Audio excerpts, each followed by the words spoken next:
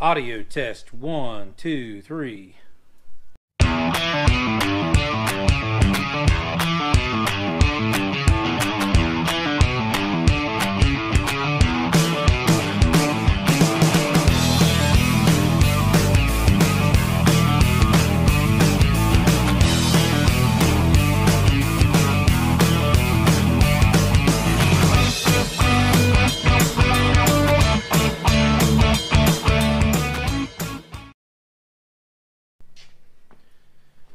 Okay, guys, so today we have a few problems. So I bought a, we got a, well, back up here.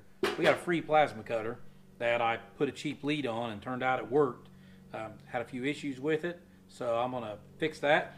The cheap lead I bought, the button broke off of it already because, uh, well, it's a piece of junk.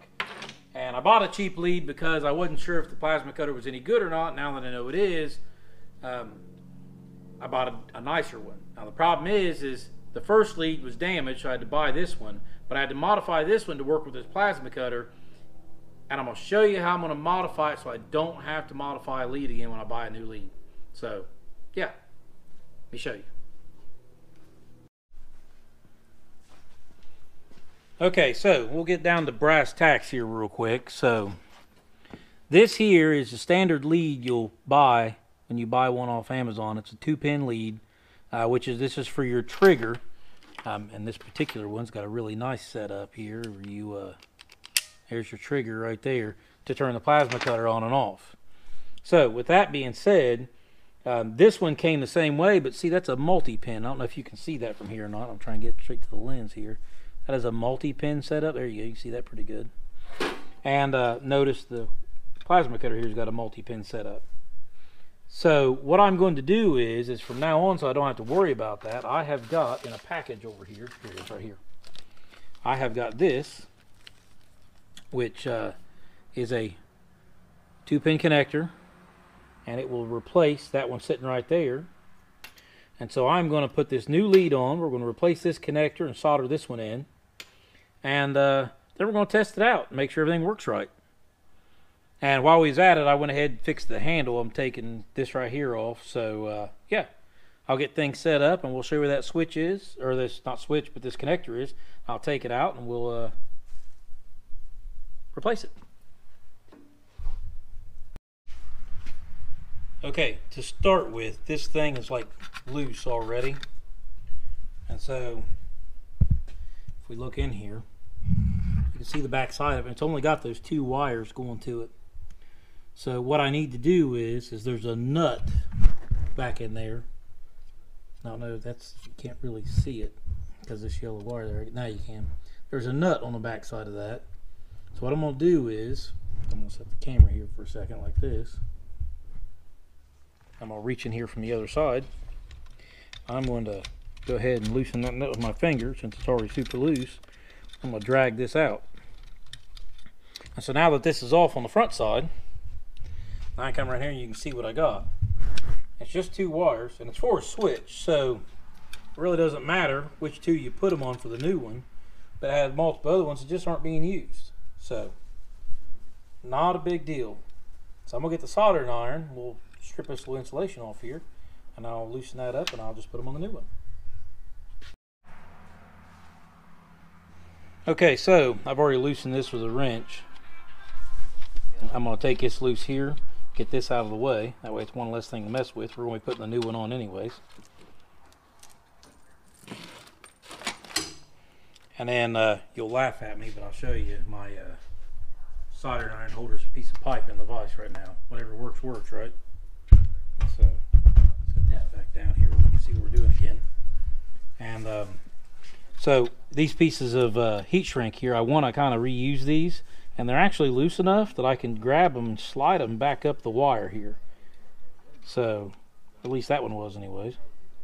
We'll get this one too. Maybe. Yeah, there we go. Slide that back up through there. And so when I finish soldering on the new one, I'll just slide those back down to cover it. And that'll be good enough. So, see if our soldering iron's hot enough to uh, unsolder.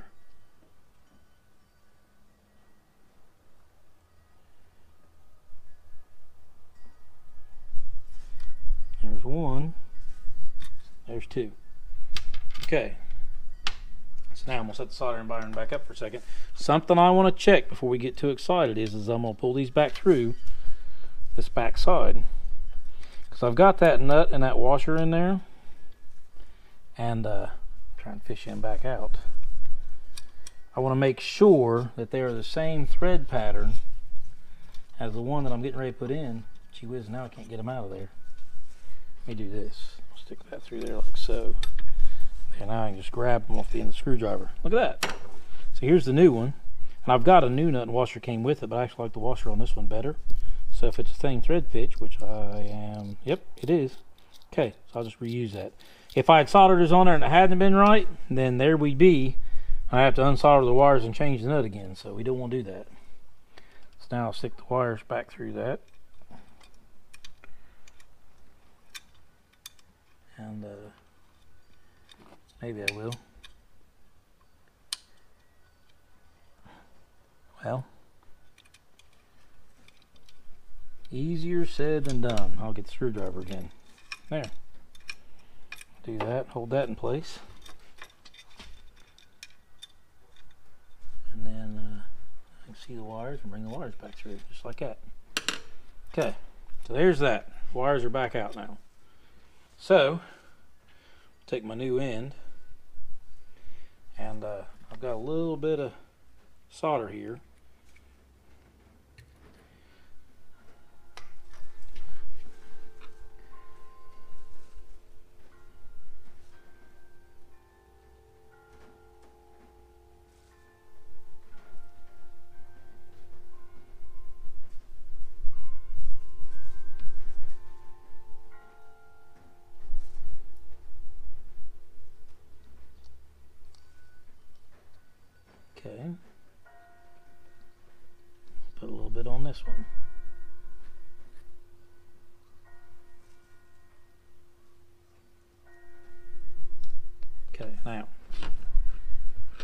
Go over here and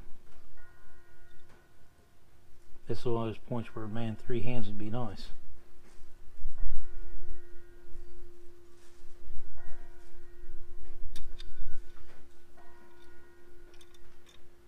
Hold on a second. Let me set something up here. Tell you what, give me a second. I'll set this up better. All right, with the help of a few pair of vice grips and a piece of square stock, I went ahead and got rid of some of the other stuff laying here that was in my way. So I'm gonna take this now and try and heat that up to where it'll fit down in there a little bit better.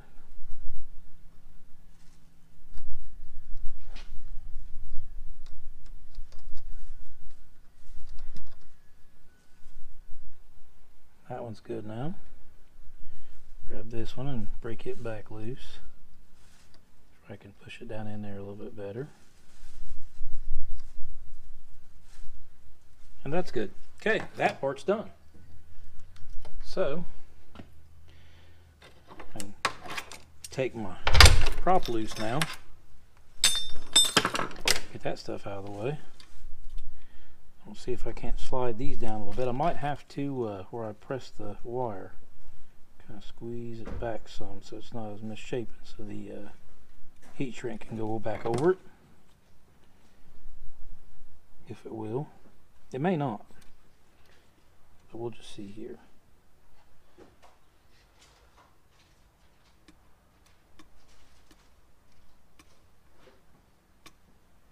By golly, it looks pretty close. So let me get this side.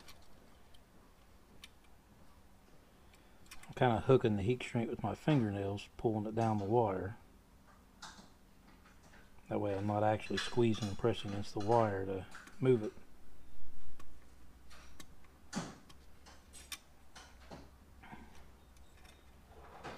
And this one may not work as well. That's going though.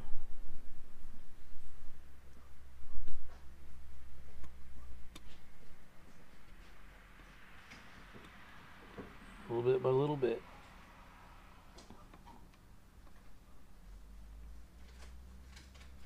Okay, and that's done.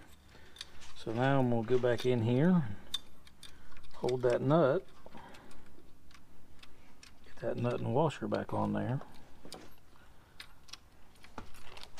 Can't really see what I'm doing. Okay, the washer's on. I just gotta get the nut started. Now I'm gonna try not to spin this piece too much. If I do, I'm gonna spin it back and forth so I'm not necessarily twisting my wires on the inside as I thread that on. So once I get that nut started real good, then I can, and that's, that's a trick right there is get the nut started good. So there we go. That's good. Now I can spin the nut with my finger. And I'm going to orientate this thing to where the uh, little nub is down, I believe. Yes. See the, you can't hardly see it there, but take the camera off here and show you. If you look, nub right there is in the down position. So now I'll take a wrench, I'll tighten that nut up on the back side, and then I'll uh, put the screws back in the cover here. I've got them all piled over here. And once I get the screws put back in the cover and the cover back on it, we'll uh, put the new lead on and test it out. Okay, so now it's game day. Um, take my new hose here and take our new end and sure enough plugs right in there and threads right on so that part's good. And then uh, let's see here. There was another piece here that went on. You know what? Yeah I'll just leave that be. I ain't that worried about it this piece here came off the original I'm just going to put it back on there to shield that end of it but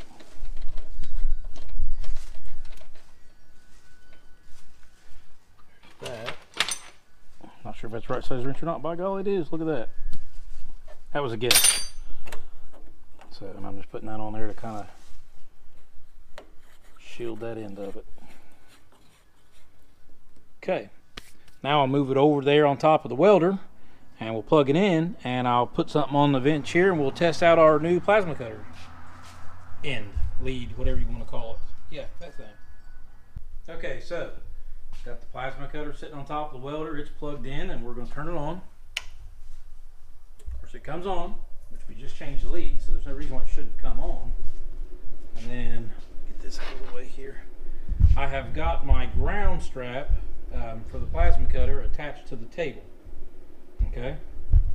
Let's put that down there some. Um, so it's, it's clamped on over here. I'm going to use these vice grips here to uh, clamp this piece down. We're going to cut the end off this. It's a fairly thick piece, so uh, I don't know, every bit a quarter inch or whatever. It's got some paint on it, so this might not go real well, but we'll find out. So first off, I'm going to pull the trigger and turns the air on, and of course it leaves it on for a minute. We've got it set at about 30 amps right now, and I've got it about 80 psi. So, oh, hold on, safety glasses. So, I don't know how well I'm going to like that little trigger right there, but uh, the little trigger guard, but let's see here.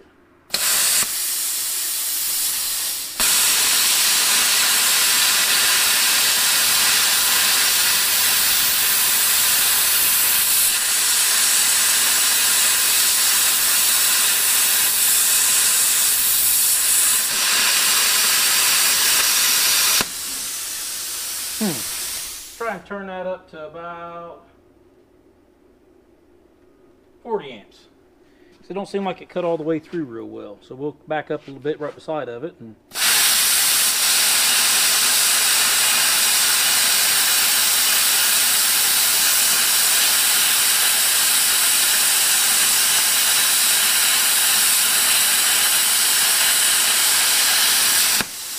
Look at that. So, uh, yeah, that worked out good. New end's good. I like it. At least I think I do. That feels a little loose, but uh, it's a swivel ball. Maybe it's just made that way. So, yep, there's how you fix your lead in on a cheap plasma cutter. We got that one for free. So, uh, yeah, not sure how much that one cost, but it was a freebie. And uh, so, let me raise you guys back up here. By the way, I'm shooting this on our new GoPro 9. This will be the first video come out with the GoPro 9 that we bought uh, with our YouTube money. And if you ain't seen how that all worked out, you can go check out uh, one of our previous videos. But if you got a cheap plasma cutter and your lead goes bad on it, I think I bought this one off Amazon for like $34. And uh, so far, so good. So the other one was a bit cheaper when I first bought it, but we got the plasma cutter for free because it didn't have a lead and I didn't know if it worked or not. So it works. Uh, like and subscribe and all that good stuff. And thanks, you guys, and we'll see you later.